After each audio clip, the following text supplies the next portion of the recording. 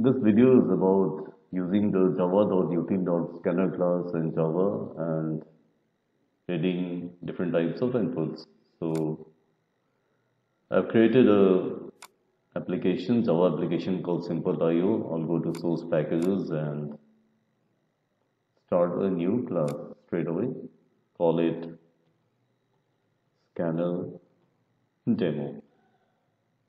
Put it in the scanner demo package. Click finish and class is ready. So, and this program will simply read two integers and sum them and print that output. Start simple, public static void main, create a main function. First of all, we'll need to import the scanner class that can be done by import java dot scanner. Now we'll have to create a scanner object. Scanner as is equal to new scanner. System dot in system dot in is the default input stream for a process and in Java it's called system.in. In C it was std in. In C++ we had C in. In Java we called it system.in. This is the default input stream for a process and it maps to the keyboard if it is not assigned somewhere else. Now give a prompt system.out.println enter a and B. That's it.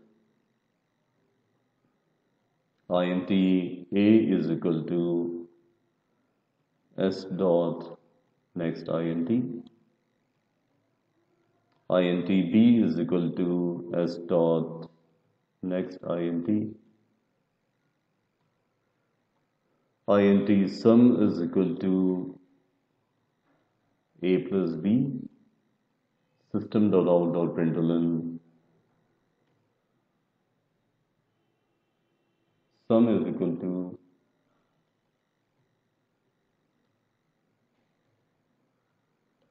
plus sum. We are concatenating as a string. Now go ahead and run the program. Run file. Enter A and B. I enter 5 and I enter 2. 4 for A, A for 4. B is 2. Answer is 6. So we managed to run our first scanner program and did so successfully. Now let's check it a bit. Check the functions in the scanner class. How do we do that? I'll write S and just press dot. Come to the has section as I'll call it. Has next, has next, has next big decimal, has next boolean, has next byte, has next int and all sort of things. And each and every one of these functions has a return type of boolean. Now, what is the use of these functions? The hasNext group, as I'll call it, checks for the existence of a certain type of input in the input source that is specified. And if it exists, it continues to return true, otherwise it returns false. So let's see if we can read an, a series of integers from the standard input using this function. I'll write like this. While s dot has next int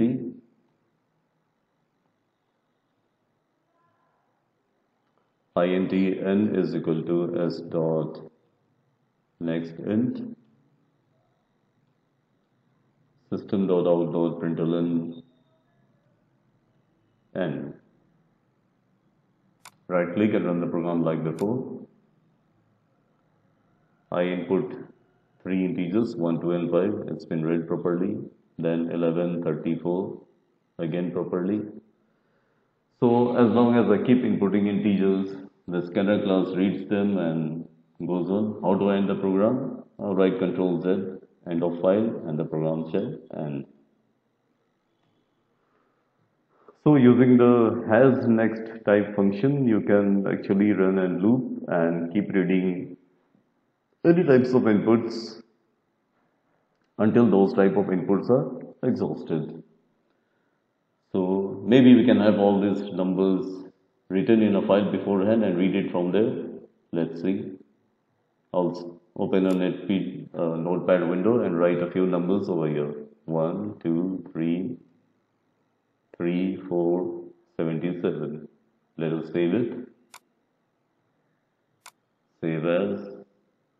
I'm saving it in the K drive and we'll give it the name data. So we've got a file called data.txt.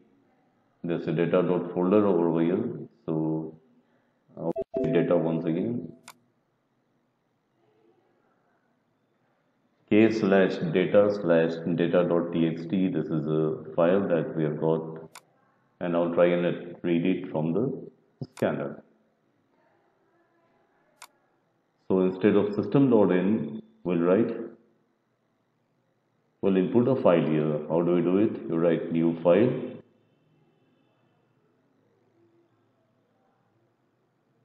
and give the name of the file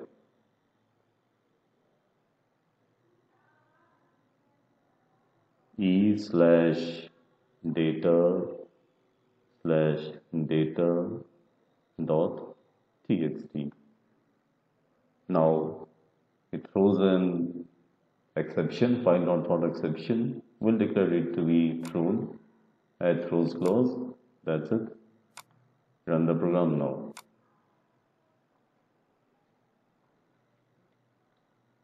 I made a blunder over here. It should be data.txt and not data.tx. So it said that the file was not found. Now, that was in the K drive. I made a mistake once again. Save it, run it. 1, 2, 3, 3, 5, 77. 1, 2, 3, 3, 5, 7, 7. That is the input that we had given and our scanner could read it. What else? We can actually use the scanner to read data from uh, from the internet. Let's try out an example. We'll download the HTML from Microsoft.com. How will I do it? I'll start with a URL. URL URL is equal to new URL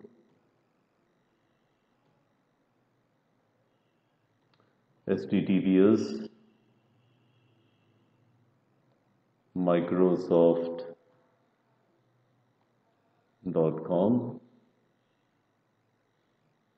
is spelling mistake over here so we should correct it right now. This constructor throws an exception of type malformed URL exception will throw it. Next, you open a URL connection.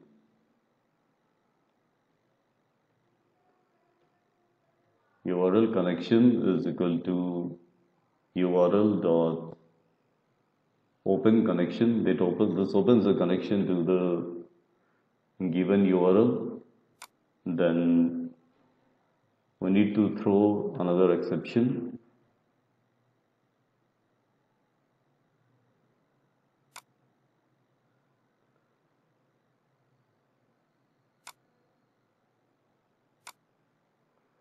Now instead of the file we'll write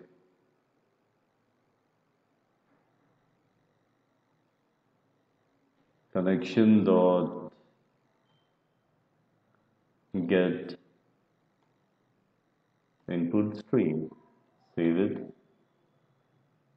We will not be reading integers from here. We'll be reading lines. So it is s dot has next line. String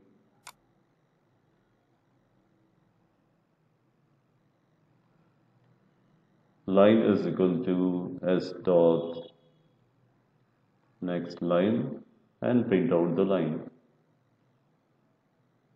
There it is, line. Run the program now. Make sure that your computer is connected to the internet and you'll get the HTML source. Here it is.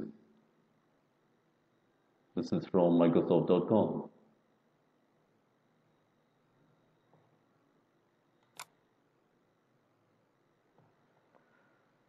Now there's something else that I would like to say. Difference between next int, next line, etc. What happens if we read uh, an integer and then go out and read a line? Let's try this.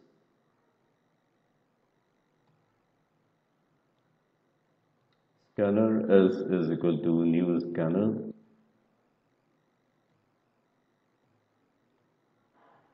System dot in semicolon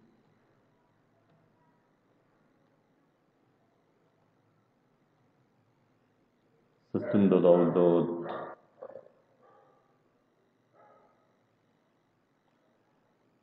println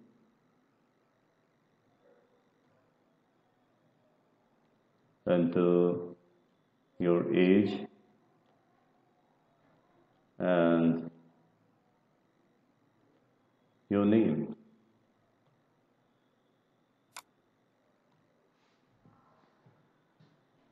int age is equal to s dot next int string name is equal to s dot next line. System dot out dot println age equal to age and system dot out dot println name is equal to plus name. What next? Run the program. Enter your age. Let's say it's 23. See. The next name is equal to s next line was not even executed and it gives a blank over there. Why does it happen?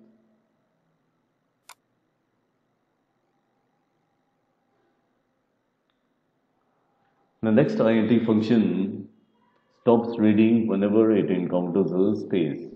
So 23 space 34 space 4, it will read it as three integers and then there's a new line, enter whatever. And that remains unconsumed. It consumes the space after the integers and the enter character remains unconsumed and that is consumed by the next line which then has blank as its input. So to adjust this you just put a next line call in between. Now run it.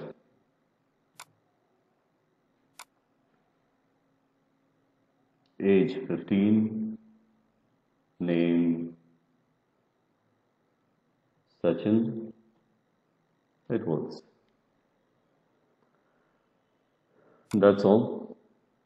And for more details, you can WhatsApp me on the link given in the description or maybe meet me personally if you're in Varanasi. Thank you.